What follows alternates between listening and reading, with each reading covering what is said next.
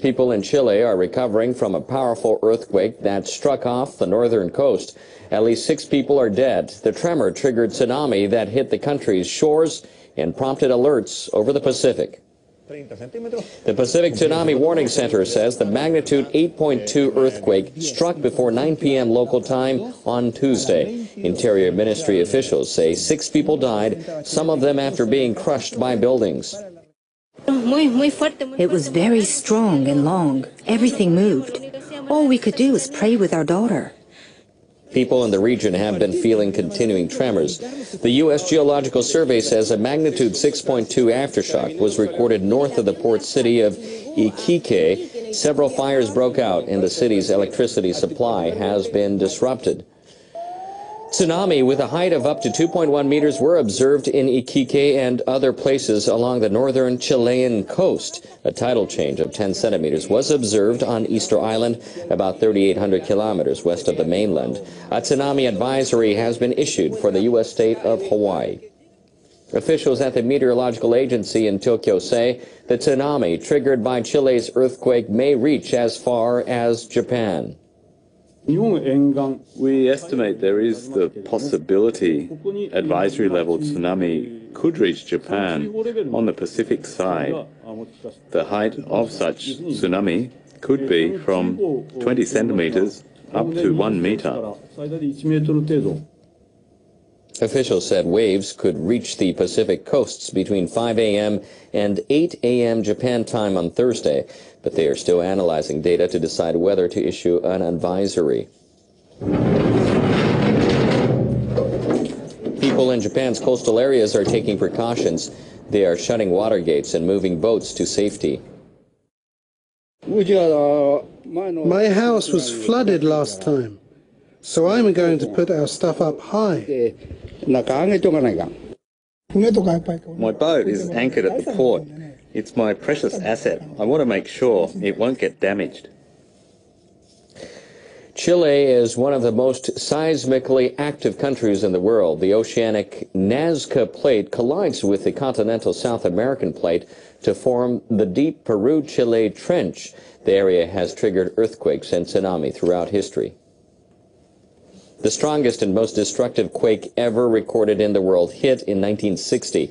The magnitude 9.5 quake unleashed tsunami in regions across the Pacific Ocean, causing damage in Hawaii, Japan, and the Philippines. Waves slammed into the northeastern coast of Japan 23 hours after killing about 140 people. In 2010, a magnitude 8.8 quake in Chile again triggered tsunami across the Pacific. It reached the northeastern coast of Japan but caused no major damage.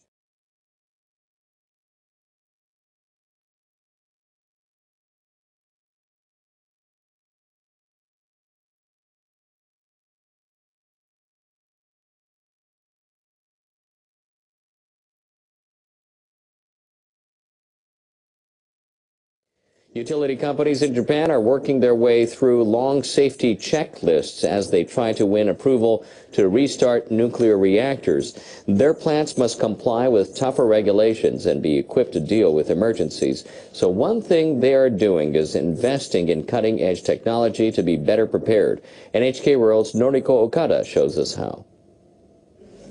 It works slowly and methodically, but it gets the job done. These engineers are learning how to manipulate remote control robots to deal with nuclear plant emergencies. Step by step, they perform increasingly complex operations at this training facility. Companies that operate nuclear plants are funding the projects. Guiding the robots with precision takes skill, and it's difficult to judge situations based on video alone. Nuclear plants have doors and steps like these. Through trial and error, we've been trying different ways of getting robots to move through such obstacles. Utility companies have applied for permission to restart their nuclear reactors. All 48 of Japan's reactors are currently offline. Each plant must pass safety standards to go back online. Utility managers say robots will allow them to respond more quickly and effectively to emergencies and reduce risks at the same time. But teaching people how to operate these devices is only the first step. The accident at the Fukushima Daiichi has demonstrated the limits of technology engineers admit they still have a long way to go to develop better machines. We're using robots that are developed for military use and other purposes. So if we bring them into power plants, we'll have to find our own way to modify them to suit the needs of a nuclear emergency nuclear regulators have ordered operators to put measures in place to deal with all stages of an accident, such as the release of radiation or damage to fuel rods. Robotic technology is just one part of the equation.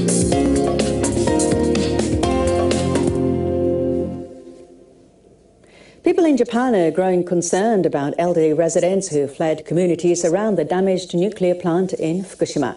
They're worried the prolonged evacuation could be triggering dementia. It's happened before following past disasters. NHK World's Marina Shirakawa reports. This is how Sai Shiga spends most of her days, sitting in her apartment near Tokyo and thinking. But recently, the 91 year old has been losing her sense of time and place.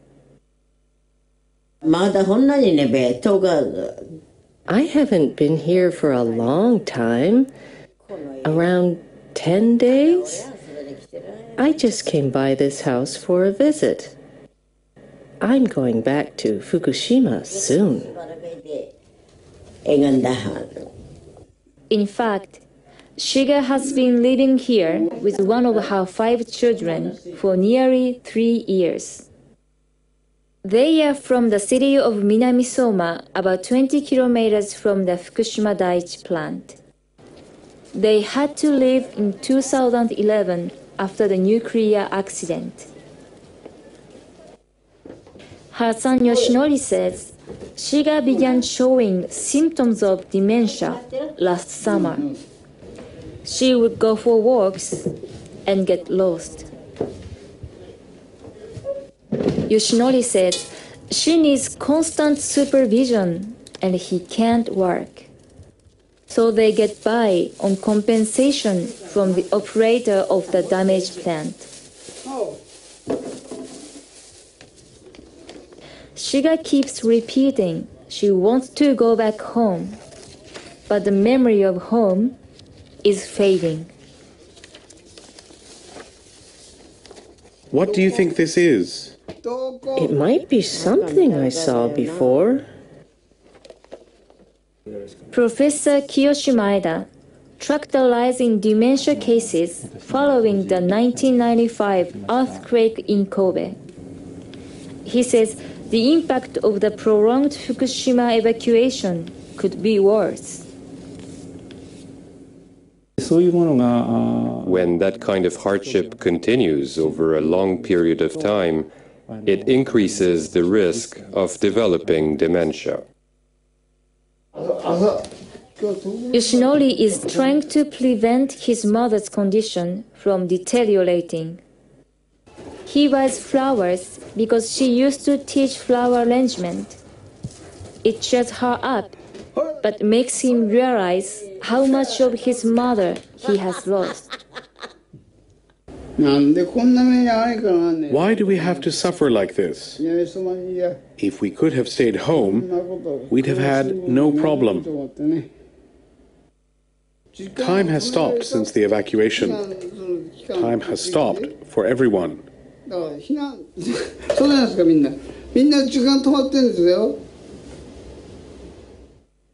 Shiga can't go home until workers decontaminate her neighborhood and government officials lift an evacuation order. Nobody is sure when that will happen, or how much she will remember when it Begin does. with breaking news. Hundreds of Hanford employees have initiated a stop work order, angry about workers getting sick from exposure to some toxic chemical vapors. King 5 investigator Susannah Frame broke the story on Twitter and joins us now with the rest of the story. Susannah. Gene and Dennis, two Hanford employees say they have had enough. They've ordered a work stoppage for their coworkers after getting what they call the runaround about the rash of recent vapor exposures to employees. Within the last two weeks, 24 Hanford workers have been rushed to the hospital or to Hanford's on-site medical center after inhaling sudden releases of toxic vapors and getting reactions like difficulty breathing, bloody noses, rapid heartbeat, and even coughing up blood. Now employees in support positions such as crane operators, truck drivers, security officers, and carpenters say they're not going back near that part of Hanford until they get correct, real-time information about what's going on. About an hour or so ago, I spoke with the worker in Richland who initiated the order by telephone. It's extremely frustrating for, for the for the workers. Uh, you know, you know, sometimes we have to find out. You know, we, we learn more watching the news or reading the newspaper than our employers is, is telling us or the Department of Energy is telling us. Uh, so it's it's just it's extremely frustrating. So the support workers who are forbidden from entering what's called the tank farm area at Hanford, they all work for the contractor Mission Support Alliance, or MSA. There are about 500 MSA workers off the job right now. Today they did begin to get better information in some meetings, but the work stoppage is expected to last a few more days, and not having those guys out there is a big disruption. Mm -hmm. Very important uh, services. All right, Susannah, and now thank to you. Carlsbad, New Mexico, where the Department of Energy says four more workers were contaminated with low levels of radiation during a leak at the federal government's underground nuclear waste dump. The DOE now says that tests show a total of 21 workers have received low doses of radiation. Today, the department said it plans to send a team of eight experts into the mine to begin setting up bases from which they can start investigating what caused the leak. The waste isolation pilot plant is the nation's only permanent underground repository for low-level radioactive waste from nuclear weapons facilities. However, the facility has been out of operation since February when a sharp rise in radiation levels was leaked linked, excuse me, to a leak in one of the underground tunnels storing radioactive waste about 600 meters underground. This radiation eventually made it into the plant's surrounding area and was detected in the air by nearby monitoring stations. Despite the alarming news, plant and government officials have maintained that the amount of radiation released does not constitute a threat to public health.